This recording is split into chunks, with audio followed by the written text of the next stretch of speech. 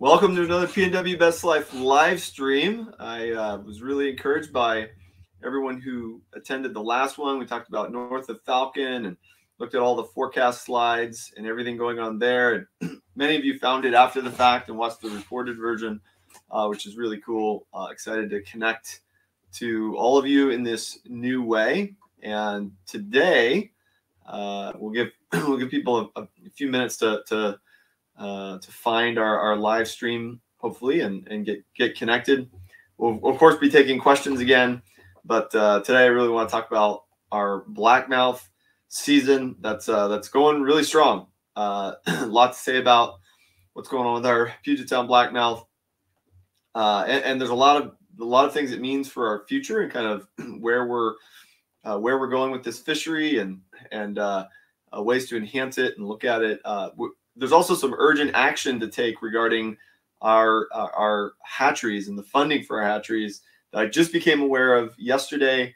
Uh, there's a public response, and some uh, I'll, I'll, show you all what what uh, you need to do. But uh, there's an email we need to send to NOAA to let them know we want them to continue putting money into raising hatchery fish for orca uh, survival, as opposed to doing things like cutting fishing to enhance uh, uh, prey availability for for orcas. So we'll talk about that.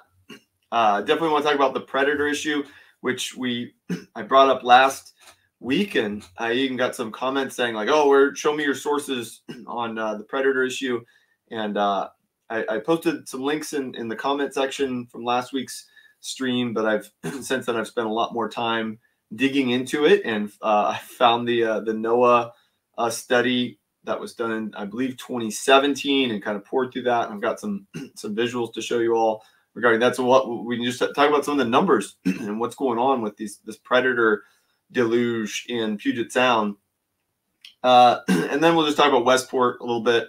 You know, it's been uh, it's been open since last Saturday, March 9th, but the weather uh, has been pretty terrible. Uh, I guess today's March 10th, so, so March 9th was yesterday.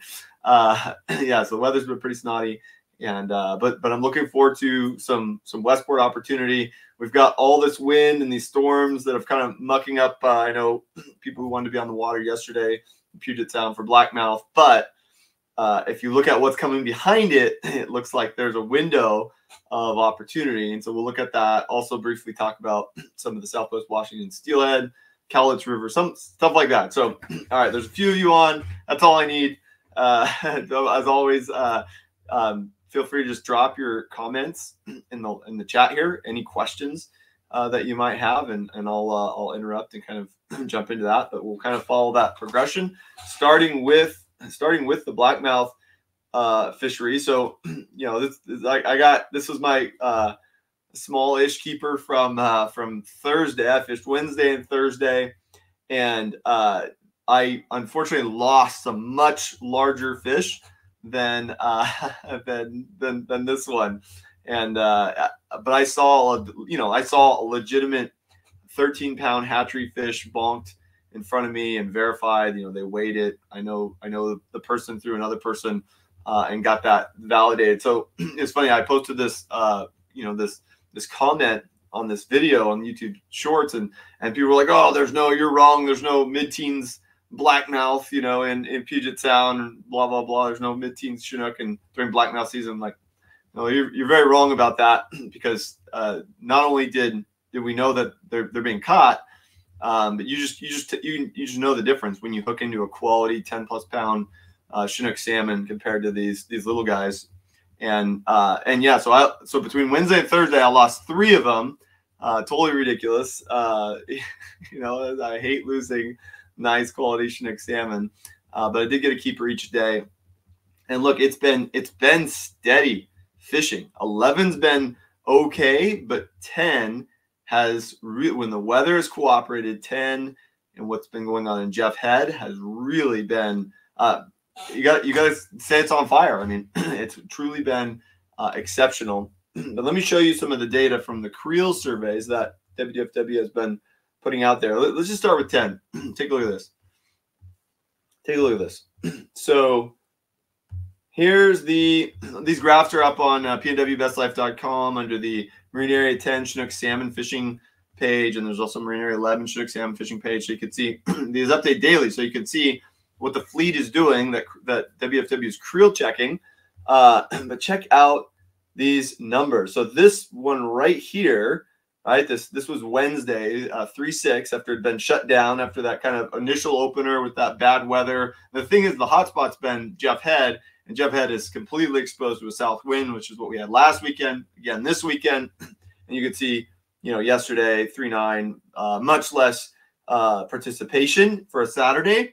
Uh, but look at the catch. Look at the catch is still outstanding for less participation. So, you know, this this is what's going on right now in this blackmouth fishery is is fantastic. But but look at this day right here, three six. This is last Wednesday. So this is around 35 fish creel checked at WFW. Uh, around 70 anglers participated. That that's the the metric uh, WFW likes to talk about is the catch per unit of effort or CPUE, which is a fancy way of saying um, Chinook uh, caught divided by anglers who uh, who participated, and uh, you you basically could say that it's almost 0.5. It's almost 0.5. So almost uh, one Chinook per every two anglers that went out. these are these are great great numbers. In fact, I was I was talking to another gentleman. I was like, I was like, man, these are these are fantastic numbers. What? Uh, and I was just curious because I have all these numbers in my uh, database. I just went through and and searched them. And in fact, March 6, 2024 is the sixth best CPUE, right? Uh, Chinook per angler rate in Marine Area 10 uh, since uh, 2013. So I've got 11 years of data. And since 2013, there's only been five better days total in Marine Area 10 when the angler count uh, has been above uh, above 50. So no small sample size stuff here. No like 10 anglers went out and they caught five fish. but I'm talking big days. Lots of anglers on the water. this is the sixth best day on the water in the last 11 years. That's that's incredible. that's incredible. Uh, there's been some really, really solid blackmouth fishing in Puget Sound. Let me show you. Uh, let me show you Marine Area 11. Here we go. So Marine Area 11, it hasn't been as good. Area 11 hasn't had a March season in a little while, but there's fish being caught. If you find the bait, you're, you're gonna find the fish. If you just fish all the regular spots, troll back and forth with the fleet, when there's no nothing marking, well, it's gonna be a tough tough day.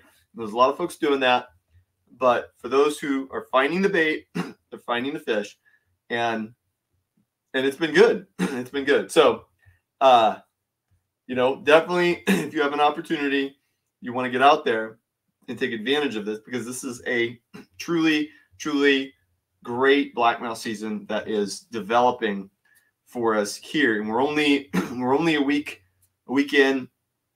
Um, I will say another dynamic here to to um, uh, to look at that we're always concerned about that we're always concerned about is the sublegal encounters, right? Uh, if you remember, lately we've been opening these in January, right, or, or early February, and then it gets closed down after a week because of the sublegals, right? We haven't always had the sublegal encounter quota stuff that's going on, but right now we do, and that's a different conversation uh, about uh, what that's all about. I don't want to get into that here. I just go on a rant with it. That wouldn't be very entertaining. But we have the sublegal encounter quota, and in the past we've been shut down because of that quota being hit because the reality is when when this opens up earlier in the year, my little my little Google map of Puget Sound. These uh, these fish are out migrating throughout Puget Sound, right? So they're they're heading north. They're going out through the through Admiralty Inlet. They're going out through the strait, right?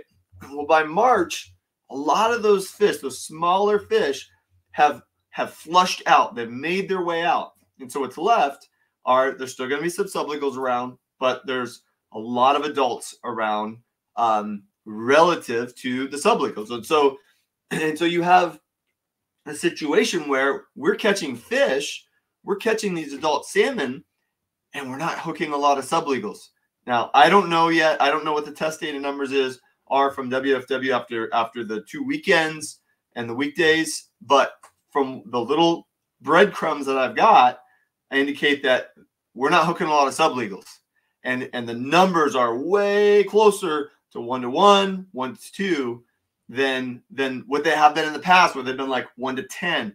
Uh, I remember a day in January it was almost like one to twenty a couple of years ago. I mean, it, it, you know, we've hooked a lot of these sublegals to get to adults, and that's not happening right now, and that's great because that means that the season has a chance, combined with you know crappy weather the last two weekends, the season has a chance to go much further into March, particularly as there's a lot of other things you can do right now. You've got uh, which we're going to talk about. We're going to talk about West Coast and uh, or Westport and bottom fishing. We're going to talk about uh, steelhead in Southwest Washington. But there's just there's a lot going on that that the anglers can do right now. You're not in January. It's pretty much the only game in town, right? So uh, I'm hopeful, very hopeful that the season's going to continue going, and it's good fishing. Uh, it's not crappy fishing. So uh, you know, there's there's there's days in the summer uh, on marine area uh, you know 11 that look like this. There's days in the summer that don't even look close to what March 6th look like for a Marine Area 10. So um, if you have a chance, you got a boat that you know, get it out of storage, get it tuned up, get the trailer all working, get out there and take advantage of this while it's going. Uh, a lot of folks will be asking, well, where exactly are all these fish being hooked? Well, it's pretty public knowledge in Marine Area 10 that Jeff Head has been really solid. Jeff Head, the south side of Jeff Head, etc. Um, in terms of what people are using, I can just tell you what what's been in my network, what's been a really hot hot lure, and of course for me, I like to, I like to spin anchovies in a helmet. That's like my go-to. I, I'm a believer in that, but I have not been getting bit on the anchovy in the helmet nearly uh, the extent as this this guy right here has been producing. This is a 3.5 uh, cookies and cream spoon and uh, you know some other people have been using a 4.0 i know the 3.0 has been working too but i've been using the 3.5 and it's it's it's out fishing uh, all the other um, offerings that i put down or other people in the boat with me have put down um, or some of the folks in my network so you know give that give that a shot and uh, and, and hopefully you can you know, in terms of flasher i've been using blue and purple but most of my bites have been on a blue flasher uh, this year. So you, you just never know. But but you know, you go with that Blue Crush flasher that I talk about a lot on my on my website, my other other videos, and that cookies and cream spoon. You're going to hook some Chinook. Uh, you know, they, a lot of a lot of it's been in 120, 130 feet of water. Uh, you know, look for bait. Look, you're fishing five feet from the bottom, right? You drop down, let that downrigger actually hit bottom, bring it up a few feet. Try to stay on the depth line you know, I, I have a um uh, an, a, a Garmin autopilot, which really helps with that. Helps me nail that depth line. It's really hard to fish if you're if your person driving the boat is going up and down the slope because you can go from 110 to 150 really fast. If you're trying to operate a downrigger, uh, that can be really challenging. So uh, a lot of videos on my uh, channel about how to do this this different stuff. Blackmouth videos, downrigger fishing for salmon videos out there. Uh, so so give it give it a give it a try. Feel free to drop me a comment or question if you have any questions about technique here. Um, I'm assuming a lot of this stuff is pretty easy, pretty knowledgeable stuff. And um, but if, if you don't know how, just definitely uh, reach out, ask because um, I'm always I, I I don't really ignore anyone that that asks me for help on this stuff. So um, yeah. Well, all right. So let's see here. So that's so we covered the uh, kind of how the blackmouth season's going. Um, yeah, so uh, let me just talk a little bit more about this out migration thing. So, the idea that uh, the recreational angler community had, and those that are really plugged in the process, was like, hey, you know, we've got all these small Chinook flushing out of Puget Sound in January and February. Let's delay the opening into March, and then hopefully can go through through April. And so far, that is playing out in our favor in a really, really strong way. Um, I personally have had some some questions about is blackmouth fishing in Puget Sound still viable? What is this a is this a long term thing, right? Or should we try to move our impacts some to some other month of the year?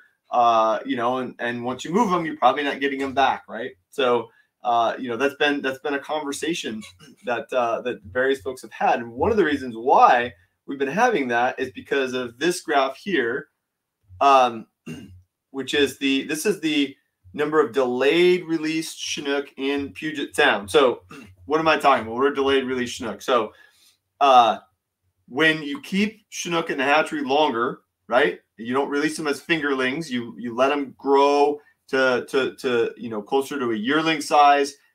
They tend to stay. They tend to residualize in Puget Sound. Now, you know Chinook are uh, there's no rule here with with with their uh, necessarily what they're doing because uh, you know, Chinook could go, they could go out to the Strait, they could go west and go up the west coast of Vancouver Island to Southeast Alaska. they could hang out in the San Juans. They could go up to the Strait of Georgia, right? They can go and then they can come back. There's no rules like like oh this, these Chinook stay in Puget Sound, these ones migrate up, right? They're they're gonna fall. They're following the feed around, right? so they're gonna be wherever the feed is. But the uh, the what uh, so i'm a part of this group. I'm part of this this advisory group called psr fefoc it's the puget sound rec fish enhancement fund oversight committee. And this was established by the legislature uh, to oversee a bucket of, of funds uh, and give recommendations about it that was was meant to be spent on enhancing the recreational fishing opportunity outside of the summer season. So you know, Puget Sound's a long history of summer Chinook fishing being fantastic, and looking at how can we extend this out beyond like these sort of peak months of like, you know, June, July into September, et cetera, with Chinook, coho, all that. So we got this fund, and a lot of the money in this fund gets spent on raising yearling Chinook, right? Uh, but something, and this was around 99, 2000, I believe. Uh, and so I, I joined the committee two years ago, and uh, you know I'm involved in these discussions about what to do with these funds. But what what what some of the things that come out is in the history of this is that the survival rate of these yearling Chinook has plummeted from the late 90s to uh, to to to recent history. So uh, we're spending a lot of money. It takes a lot more money to keep the Chinook longer at the hatchery to get to a yearling right? Uh, you got to deal with potential disease. You got to deal with uh, feeding them the entire time. Like it's more money to keep these Chinook around, but when you release them, they're more likely to stay around Puget Sound and get caught during the, the winter blackmouth season. That's kind of the that's kind of the idea, right? Well, when the survival rate of these things plummeted, uh, and so you, you're releasing a lot of smolts, and and they're not coming back as adults, and they're not getting caught in the winter fishery. There's a lot of what's going on, right? And if you've been following uh, following along here, you know that a similar phenomenon has been happening with uh, with with our steelhead, Puget Sound steelhead. Uh, you know, hatchery survival rates have have plummeted in the last 20 years, and so we've shifted some of that money from yearling Chinook to the, the fingerling Chinook, right? Let me pull up another another graph for you. And part of that is just even though we can raise more of the fingerlings, more of them die off, right? So, uh, but you, it's cheaper, and so it's it's cheaper to get uh, a higher number of adults back uh, available for orcas, available for fisheries, and uh, making it back to the hatchery. So let me just show you. Uh, this is a graph of Chinook released in Puget Sound by WFW. So you could see, and this number I believe was even higher before 2008. So the, the orange is the yearling Chinook releases, right? And it's just been, we had a little brief little period of little bumps, but it's just been squeezed. It's been squeezed out. It's harder to, you kind of got to squint to see it on this graph, but it's getting smaller and smaller as uh, it's just not been very viable. I think I did some math that calculated um, to, to produce one blackmouth keeper uh, during the the blackmouth season. Uh, these we would spend around two thousand dollars per keeper um, in raising it and all all the die off that'll happen, the predation, and and what it would take to get that keeper into um, into on, on an angler's boat being retained, right? So uh, that those are good numbers. Those and the numbers on fingerlings are much better. So uh, there there is some debate about what what are we doing with this pro, these programs? What are we doing with this season? Especially given the fact that they haven't been very good in the last few years, right? They've been they've been closed very quickly because of the sublegal encounters, things like that. So I've had a lot of questions myself about what are we doing? Where are we going with this whole uh, blackmouth fishery? Now let me show you another graph. This is all sources Chinook released in Puget Sound. I want you to think about this number. Think about this number. So uh, this is 2022. There was right over 50 million. 50 million. Okay. Keep keep the, keep this number in your head. 50 million uh, Chinook released in Puget Sound. All all sources. Okay. Uh, now I, I started digging through the NOAA study, as I said at the beginning of the stream, um, looking at the what you know the the marine predation issue that that NOAA published a lot of data on, a lot of findings on back in 2017. Uh, somewhat controversial, although a lot of us uh, recreational anglers we already knew many of these things. That a lot of our uh, our, our our salmon were ending up as um, seal, sea lion poo, and uh, not not enhancing the fisheries the way that the way that you would expect.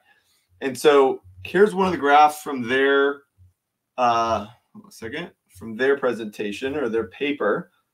Um, and I'll link it in the uh, description of when this goes um, goes onto YouTube, so you can read it for yourself. this is the stacked graph of all the smolt releases up to 2015, and I, I, you know you basically can look at this and go, oh, Puget Sound's released or the Salish Sea in total. That's this one here, It's like army green kind of color is around 70 million smolts. Okay, 70 million smolts. So Puget Sound, 50 million, another 20 million uh, to, to comprise all the Salish Sea. So keep that number in your mind. 50 million, Puget Sound, 70 million, Salish Sea. Now I want to show you, I want to show you another graph that's going to blow your mind. This is the number of salmon estimated by NOAA that are consumed by harbor seals. Okay. Uh, this is only, this ends at 2015, but you see the, the graph is going up into the right. So what is this now? Uh, this is probably much higher, right? It's probably it's probably out here. Uh, but you're talking conservatively over 30 million salmon consumed by harbor seals. And, and it's funny because you know, when uh, when we're out there fishing, yeah, sometimes a seal will take our, our salmon, but oftentimes it's a it's a big old sea lion or something like that, and it's very visible. Or you see sea lions out there eating salmon. well, harbor seals primarily consume smolt. The biomass, the tonnage of what they consume is actually is actually pretty small compared to sea lions, killer whales, um, etc. But the numbers are are off the charts. And uh, I was looking at another paper that showed that from the from uh, from tagging these critters, they see that most of the consumption is happening in the evening and the nighttime. So you're not you're not seeing what's going on. You're not seeing what's actually happening. But this, but we know uh, from these scientific studies that 30 million plus uh, salmon in the Salish Sea are being consumed by harbor seals. Now remember, that's almost that's almost equal to the total amount of smolts that, that WFW is producing in hatcheries, which was around 50 million, right? Um, that's an insane number. That's an insane number that are being consumed by harbor seals. Uh, I just sat through the North of Falcon meeting, uh, the kickoff forecast, and we talk about the environment, the marine survival. We talk about hatchery production. We talk about all these things. We, we don't we don't bring up we don't bring up predation it's not even mentioned. One time I tried to ask a question about it, but the, the sound audio was kind of garbled, and apparently they didn't get it. But um, I'm going to go in person on uh, on Wednesday to Olympia, and if there's another opportunity to bring it up, but but but why aren't why aren't we talking more about this? Thirty million consumed by harbor seals. Now, in WFW's uh, defense, they did a very, very nice presentation on the topic last year north of Falcon and they talked about the different options with the Marine Mammal Protection Act, things that they're trying to do outside of lethal removal. Uh, but and I don't have all the answers here, but man, we need answers to this. And and I have I'm I've only started to dig into the avian predation, which is also significant. That's before the harbor seals even get to take their chunk. And and so what we're seeing is if any of our salmon or steelhead spend a lot of time in Puget Sound, they don't stand a very good chance of surviving. Uh, that's probably what's happening with our Puget Sound steelhead, hatchery fish, wild fish, whatever. That's what's happening with our our why. Even though we've jacked up our hatchery production, where's it going? We've restored habitat for for wild fish in many ways. We have much more work to do there, but but where's it all going? Well, it's it's becoming uh, seal poo is the bottom line of where it's going, and so we, we have we have some work to do. I don't know all, all the answers are, but I, I'm going to continue to uh, to drive this, and I and I know others are as well. We want to make sure that there there is going there are going to be answers at some point to this because this is just not sustainable, right? We have an ecosystem that's way out of balance. Uh, there's another graph I didn't I didn't pull up here, but the, the, the population in this period of, of harbor seals has grown by 10x um, from from from where it was and where this graph starts in 1975. So so so yeah, we, we have an ecosystem that's out of balance. We have challenges here just as stewards of the resources. Um, there's there's work that that needs to be done here. Um, so yeah, let's let's talk about uh, let's talk for a second about this NOAA uh, request. Okay, so got this email from Puget Sound Anglers that uh, there's, and i have got the article up here called uh, "Study Revealing that Hatcheries Yield More Salmon for Endangered Killer Whales and New Analysis Open for Comment." So, uh, just so you know, uh, the draft environmental impact responds to a 2022 court order which found deficiencies in NOAA Fisheries 2019 analysis of domestic actions connected to Pacific Salmon Treaty Agreement. Translation: uh, The wild fish folks sued uh, sued these different organizations to get them to stop raising uh, hatchery fish, and and so now they're having to reopen it and re-examine it. And they came up with four options for federal funding that they're taking public comment on right now. Uh, number one is you just discontinue federal funding to increase uh, orca uh, killer whale prey. Number two, you keep producing hatchery salmon to increase killer whale prey.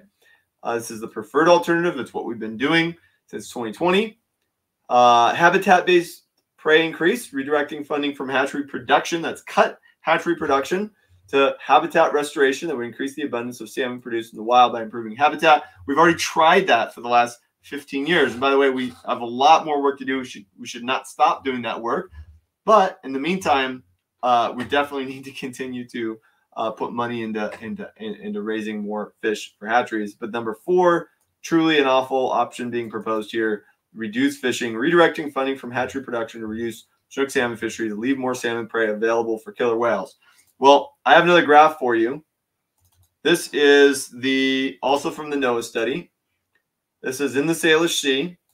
This black line is fisheries, biomass consumed, fisheries. And over here are, uh, this is wild uh, salmon, natural origin salmon. This is hatchery origin salmon. Consumed, total consumed by predators. Okay.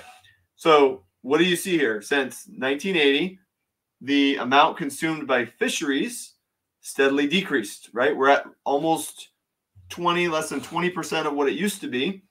And then you see the, the wild hatchery uh, origin consumption of salmon, the total consumption of salmon has increased, right? So as we have cut fisheries, uh, the marine mammal predators have stepped up their game and taken our place to um, and, and and so there's not been a net benefit for availability of salmon uh, for orcas uh, or uh, just for avoiding extinction. So you have we, the idea of cutting fisheries. It's already been tried. Been it's what we've been dealing with for the last 40 years. We've been cutting fisheries in the Salish Sea, and salmon are not bouncing back. So uh, we have more work to do here. We we can't keep trying the same thing and failing at it. Um, so there you go. that's uh, all I, I think all I want to say about that uh, for the time being. But but please, th- this comment public comment period uh, expires uh, midday on Monday, and so uh, you need to, if you care about this, uh, here's here's what you need to do. Uh, you can contact the project manager, this phone number, or very easy, drop an email, hatcheries.public.comment at noaa.gov and let them know. Option number two is what you prefer. No option four. We've got to do something. Option number two is where we want to be. So uh, comments close tomorrow. Tomorrow, uh, Monday, March 11th, I believe, around noon. Uh, you know, a lot of times we don't we don't have an opportunity to take any kind of action. We jump on social media and, and there's a lot of complaining and whining about all this stuff. Well, here's something you can do. Uh, if you care about these things, if you if you like catching catching salmon and you don't want to see these orcas uh, go extinct and their numbers dip below a line that, that won't allow them to bounce back, then you can get on this, take action, and um, and drop write an email. It takes 30 seconds um, to to sound off on this because you can bet you can bet the folks who want to cut all the hatchery production, uh, their their stuff's already been tried as far as I'm concerned. Their their their solutions have have been in the works for the last 10, 15 years, and it's yielded us nothing. It's why we're in this scenario with the orcas not having prey in the first place. Um, but you can bet that they're going to be uh, very loud about this topic. Um, but there's a lot more of us who want to see this done the right way than there are them. But you got to get involved. You got to be active. You got to get your voice out there. So, uh, all right, that is it for this topic. Real quick, I want to show you something. Um, if you're new to kind of following me here, uh, I, am passionate about the outdoors, as you can see. Uh, but I also I came from a, a technology background and IT background, so I I, uh, I like to build digital tools that help me uh, actually, uh, and, and, all of you who are willing to uh, jump on board with this kind of process of how I go about finding the best opportunities and planning fishing trips.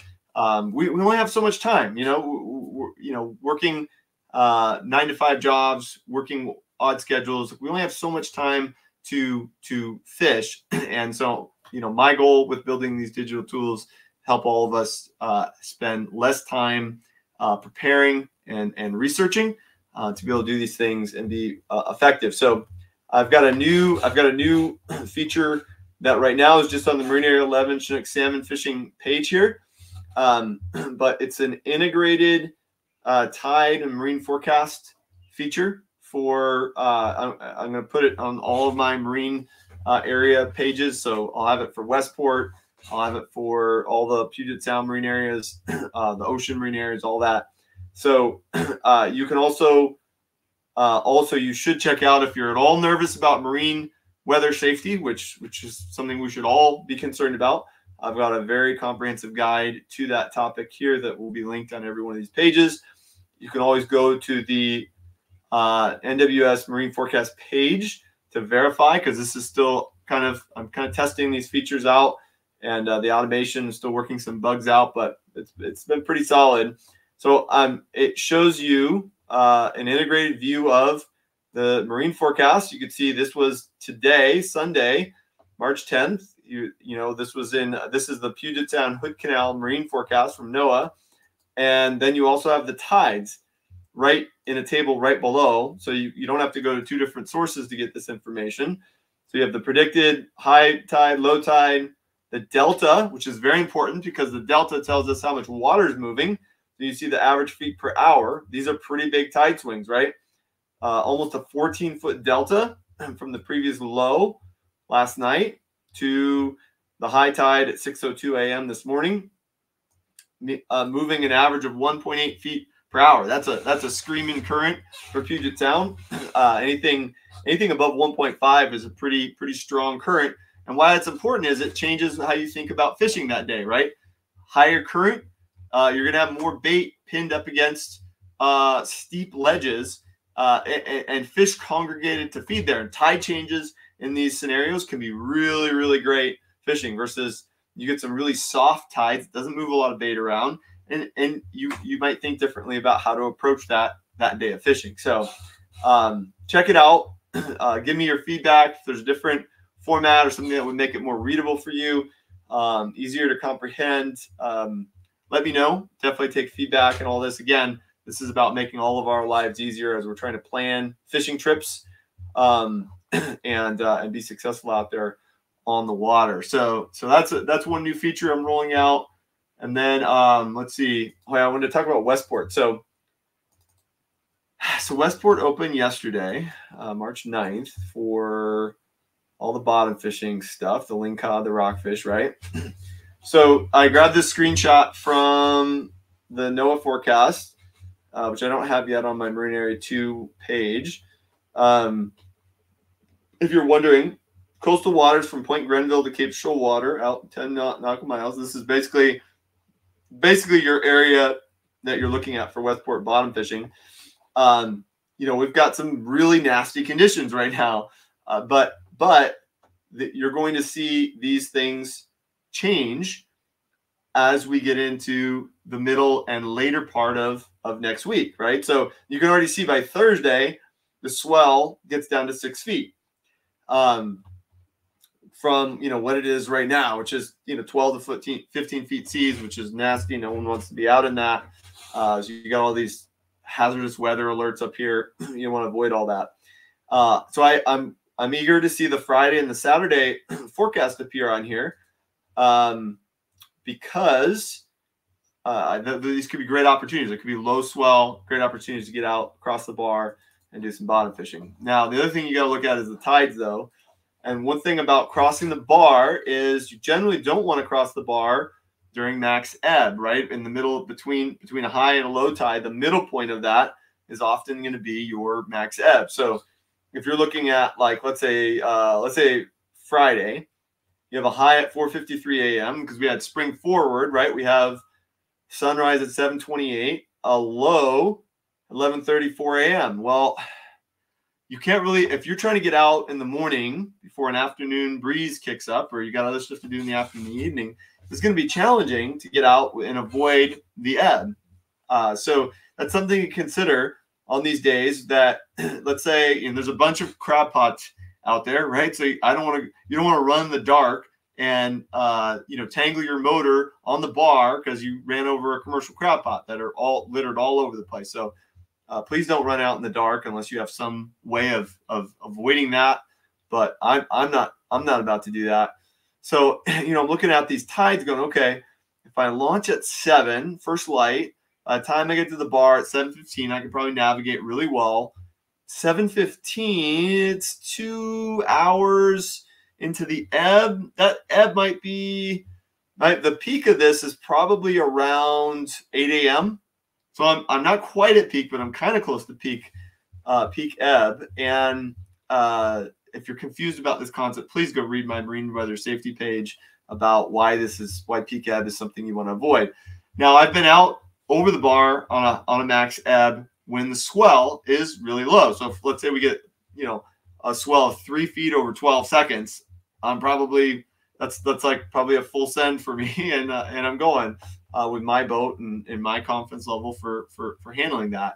Um, everyone's a little different on that, so you know you gotta you gotta figure that out. But uh, yeah, so so that's something I'm looking at because I really want to get out again. I want to take advantage of these these early spring uh, bottom fishing opportunities with the greatest abundance of quality lings on all the rock piles before all the charters come in and, and pick them off. So um, yeah, I'm looking at some of these windows. Uh, Saturday would be better. Sunday would be would be really good, right? Because uh, you would be able to get across the bar right around high tide. That would be a opportune time if if the weather holds up. So uh going to be watching these forecasts really closely and getting excited to see, you know, if you look at the long-term forecast just in your weather app, you see sun, sun, sun, sun, I think 70 degrees and sunny. Uh I mean, it could be if if that also comes with really uh soft marine weather conditions, light winds, like it's game on. it is game on for Westport bottom fishing. So we'll keep an eye on that. Last thing, we're about to wrap up here.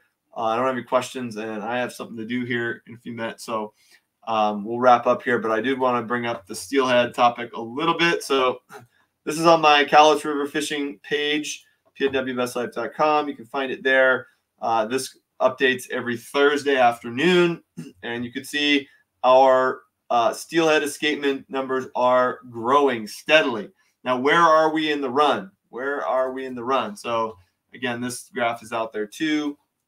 Uh, and you could see we are, let's see, we're about here, mid March, right? So, most of the time, these runs are peaking in right at the end of March, early April. And so we're in this kind of like shoulder bump. But even that, look at this. This this shoulder is around 500 fish in a week. We're still kind of down here in the middle. So we've got some work to do. There's there's potentially a lot more steelhead coming in uh, on this cow. If this run is at all respectable, um, you can expect that it's going to get a lot better than what it's been, and it's been pretty good already. With uh, as long as you can avoid the smelt, uh, and those should largely be done. Hopefully, um, you know there's there's opportunities here to to get it done.